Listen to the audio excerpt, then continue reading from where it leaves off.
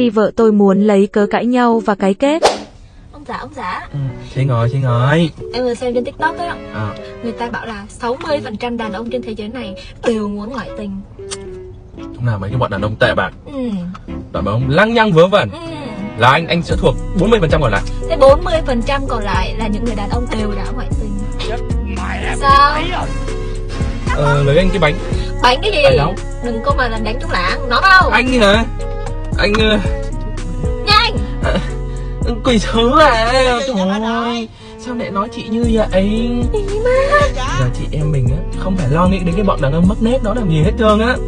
Giờ chị em mình đi uống trà sữa đi. Uống trà sữa đi nhá. Không không. Đéo thấy tao lưng vào